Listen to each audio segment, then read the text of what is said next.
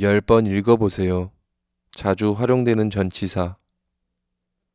그 엄마와.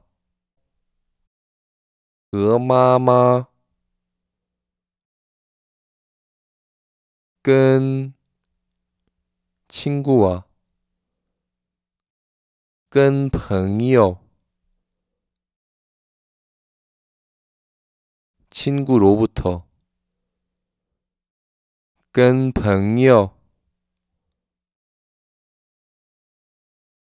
왜 안전을 위해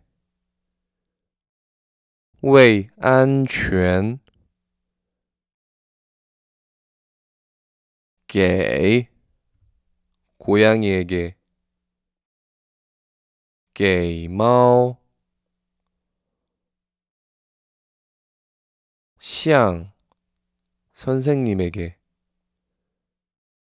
向老师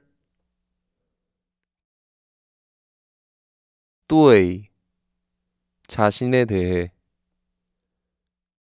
对自己对于 음악에 대해 对于音乐